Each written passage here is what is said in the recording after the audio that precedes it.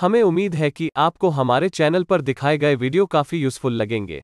आज हम आपको दिखाएँगे लकड़ी के दरवाजे के लिए लोहे से बने पटम पाइप की फ्रेम कैसे बनाते हैं।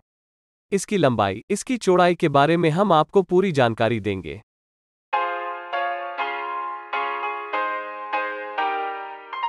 आप इसकी लंबाई के लिए 6 फीट आधा इंच के दो पाइप काट ले। फिटिंग के अनुसार आप 6 फीट 1 इंच या 6 फीट 2 इंच या और भी बढ़ा सकते हैं।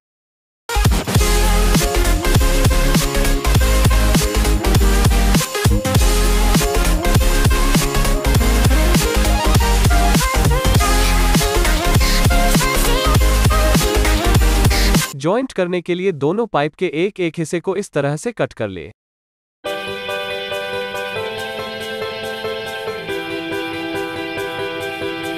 फ्रेम की चौड़ाई अंदर से जन्हा दरवाज़ा फिट होगा, उसे तीन फिट एक सेंटीमीटर रखे, ताकि दरवाज़ा फिट करने के बाद उसे ओपन क्लोज करने में प्रॉब्लम ना हो।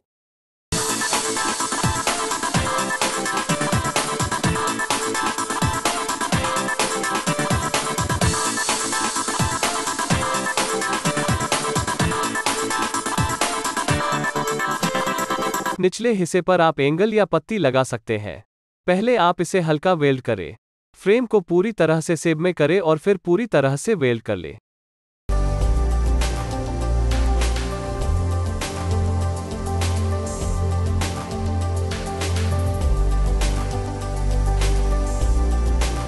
उसके बाद फ्रेम के बाहर दोनों तरफ़ छह या सात इंच के एंगल के तीन तीन टुकड़े वेल्ड कर दे, ताकि दीवार के अंदर फ्रेम की सही पकड़ हो सके।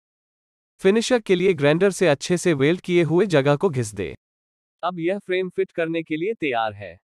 वीडियो अच्छा लगा हो तो लाइक और चैनल को सब्सक्राइब ज़रूर करें।